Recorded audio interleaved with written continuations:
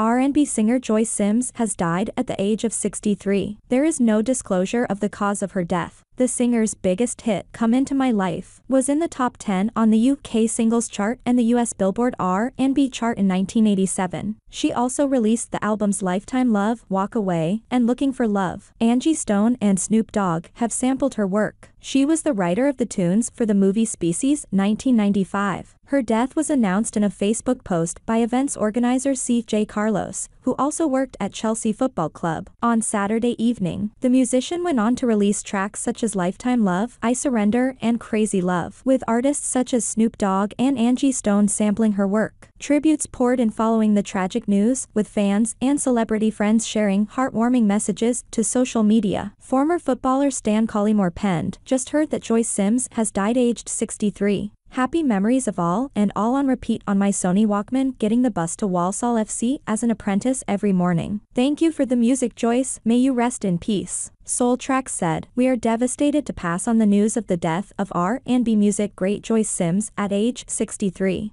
a great talent who sang, wrote, and played for us for more than three decades. In January, Joyce spoke of how her dreams came true after the release of the album, Come Into My Life, came out. In 1987, in the late 1980, nightclubs would sometimes pay me thousands of dollars to sing All in All, my biggest hit in America. It would take me 6 minutes and 31 seconds and I could earn up to $3,000.